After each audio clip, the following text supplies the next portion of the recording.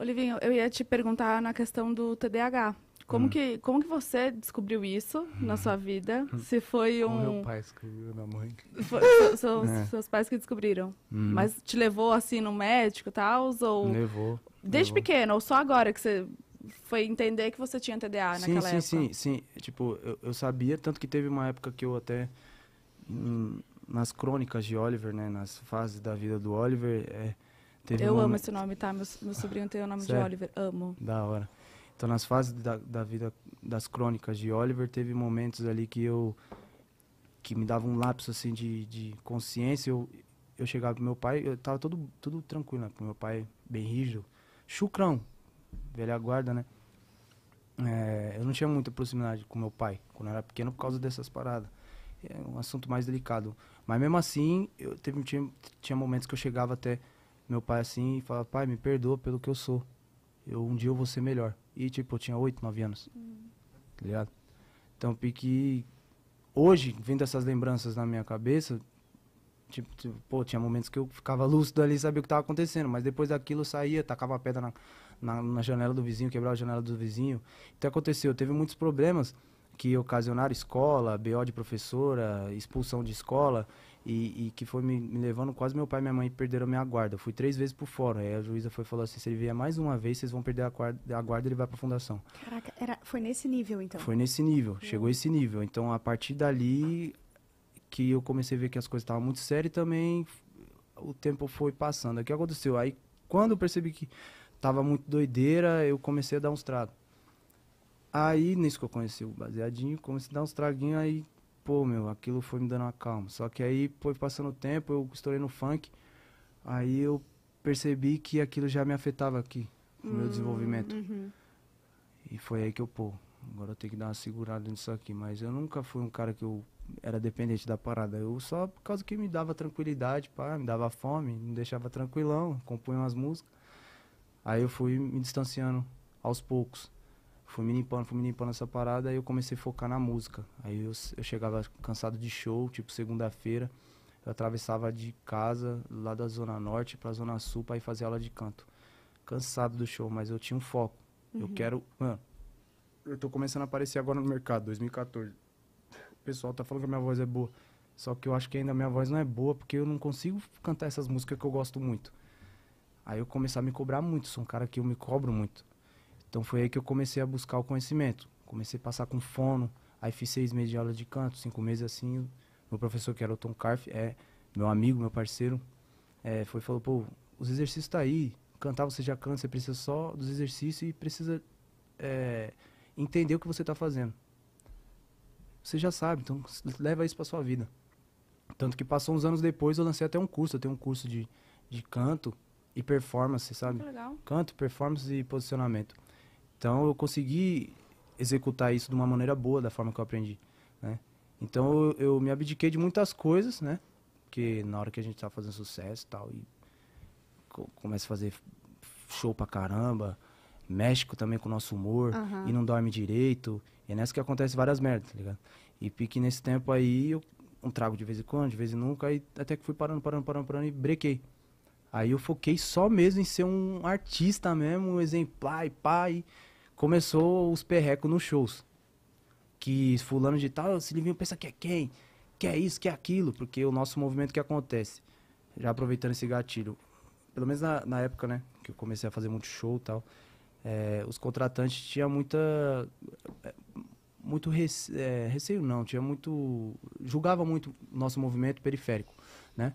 Então, tá vindo MC, então põe uma água, uma pizza pra ele, mano. Já estão pagando o cachê dele que tá mal caro, cantando funk. Porque era o pensamento deles. Aí chegava, tinha festival, pique tava sertanejo, tava o- os pop e, e pique às vezes não tinha camarim pra nós. E se tivesse, não tinha nem o que nós pedimos no Rider. Era discrepante a- o Discrepante, tratamento muito, ali. Contraste muito grande. Então foi aí que eu comecei a me posicionar, pular na bala e tal. Eu falei, mas eu, eu pulo na bala aí e eu tenho que começar a fazer mais, eu tenho que começar a entregar mais, eu tenho que começar a me portar mais. Então foi nisso que eu comecei a focar para aquecer a minha voz, para subir, entregar uma performance da hora, descer, atender o público. Eu comecei a, a montar é, é, camadas, sabe? Fases, blocos, sabe? Eu, eu chego, eu me concentro antes, de um dia antes pro show. Sabe? Vou ter show amanhã, então hoje eu não vou gritar.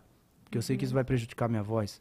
Vai chegar na hora do show, tô tranquilo, de dormir, descansei antes do show, acordo pelo menos umas três horas antes do show, não posso acordar na hora, porque a voz vai ficar Uhum. Diferente. diferente, ela vai estar ela vai tá relaxada. Então, pra mim começar aqui, é a mesma coisa você acordar e sair correndo. Vai dar um estiramento, porque o seu músculo tá tudo relaxado, entendeu? Então, comecei a, a regrar isso, comecei a, tipo, me privar de coisas. Então, foi aí que comecei a mostrar, e nisso que eu mostrava, eu pedia, entendeu? Sim. Então as as- os contratantes começaram a ver. Aí de chato já começou a olhar pro show. Hoje, tanto que eu não preciso falar mais nada. Tudo que a gente pede tem. E até o que a gente não pede, os caras colocam. Você Porque não sabe, questionam né? também, não né? questionam. Certeza. E também os anos, né? Os anos batendo música, os anos eh, no sucesso. Independente das polêmicas que passou, nós vai se amadurecendo, porque nós veio de um lugar ser referência, né, mano? Uhum. Entendeu? Então, hoje eu sou uma referência pro meu filho. Na forma de falar, de portar e pá. É, não só pro teu filho, como pra milhares de Sim, pessoas sim, que sim, se sim. inspiram em ti. Sim, essa é a parada. É, e, e legal que também você começou a fazer isso meio que pra mostrar o seu trabalho, mas que isso agregou pra você também como artista, sim, né? sim, muito, muito. E pro muito. teu público também, com certeza, que daí vê o, Claro. o melhor de ti, né? Claro, claro, essa é a ideia, essa é a ideia, porque, porque assim, eu quero que as pessoas, os fãs vejam e olhem pra mim e tipo, pô, pode falar o que quiser desse cara, esse cara, mano, ele chega aqui, porque, mano, é, tem, um, tem um cara que vai fazer a decoração daqui, mano, o cara, mano, mano, o cara, o cara é chato, mano, ele chega aqui, mano, tem que estar tudo certinho, tem que ter a tinta que ele quer, tem um negócio, mano, olha o que ele fez aqui, você tá entendendo? Não é que ele é chato, mano, ele, que ele é criterioso no trabalho dele, entendeu? Que ele faz muito bem aquela função, o que acontece? Não sei se isso é do brasileiro, mas. Ah, ah, qualquer coisa tá bom, vai, vai. Isso não é ser humilde. Isso daí é ser otário, tudo. Às vezes Não até é que- desleixado, Não é né? que qualquer coisa tá bom.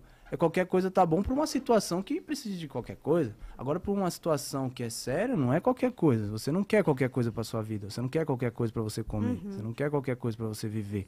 Entendeu? Então eu sou desse, dessa ideologia, assim. É. E como que tá hoje a sua agenda de show? Você se organiza Tá pra. Graças a Deus. eu Porque já foi muita loucura, assim, Já. tipo, batidão Já atrás fiz de. 14 shows num dia. Que isso? O quê? Comecei meio-dia e terminei 6 horas, 7, 8 horas da manhã do outro dia. Não, 9, 10. E a voz? Não tinha. Saúde mental também não, né? Era só. Era, só- é, na época eu não cuidava muito, né? Então era pique só dormir. É, é, dar uns tragos, dormir, acordar. E já ir pra outra. Era Pepeca do Mal, um beijo e um tchau. Era assim no baile. Aí, tchau. Aí Mas também, um era, mas 20 minutos. também era na época que tu precisava É, e- aham, trampar. ralar. Trampo. Isso foi quando? Tipo. 2014 pra 2015. E aí depois que começou. Começo, assim, os primeiros seis meses, assim, sete, oito meses. Nossa, foi doideira. Que aí é época de juntar o, a mussarela, Ah, o carvãozinho, sim, né? Cravos, espinhas, manchas, rugas, oleosidade. Essas palavras perturbam seu dia a dia e te incomodam profundamente. Acredite ou não, você está cometendo um erro sutil, mas devastador, que está causando todas essas imperfeições sem que você perceba. Agora, imagine acordar em uma linda manhã, olhar no espelho e se deparar com uma pele luminosa, jovem e radiante. Parece um sonho, certo? Mas acredite, isso é totalmente possível. Tudo o que precisa fazer são pequenas mudanças em sua rotina diária, começando pelo jeito como você toma banho. Com o Face Cronos, um guia que revela informações privilegiadas e receitas caseiras incrivelmente acessíveis, todos esses problemas e imperfeições desaparecerão da sua vida para sempre. Tenho certeza de que você está curioso para saber mais, assim como eu. Então, não perca tempo. Clique no link abaixo e embarque nessa jornada de descobertas junto comigo.